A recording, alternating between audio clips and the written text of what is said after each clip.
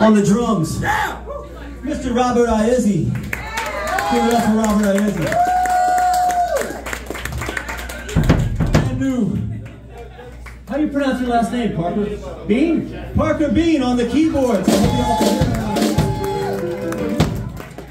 I meant to ask you that beforehand. It would have been the professional thing to do.